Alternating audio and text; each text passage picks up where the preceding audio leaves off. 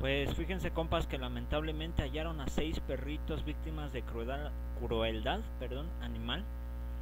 Uno, bueno, dos de ellos ya sin vida. Allá en Zitácuaro también, pues eh, según menciona la voz de Michoacán, que tras un cateo en un inmueble de este municipio se aseguró a seis ejemplares caninos víctimas de maltrato animal.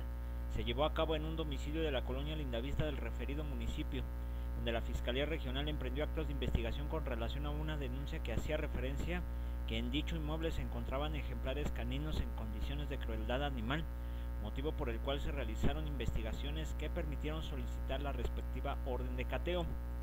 No se dice qué día fue, pero según aquí informan que ah, una vez obtenido este mandato judicial, se trasladó personal de la Fiscalía Regional de allá de Zitácuaro para asegurar a seis perritos que no contaban con las condiciones, pero lamentablemente dos de ellos fueron hallados sin vida. Eh, los ejemplares fueron asegurados y trasladados al Departamento de Protección Animal del municipio, en tanto se continúa con las investigaciones para deslindar responsabilidades. Esto pues, obviamente es grave.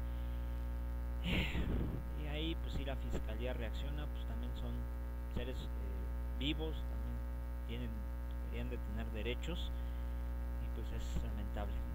Lo que no se sabe si fue ya eh, en este primero de enero o fue el día 31, eso no lo indica a través de la voz de Michoacán.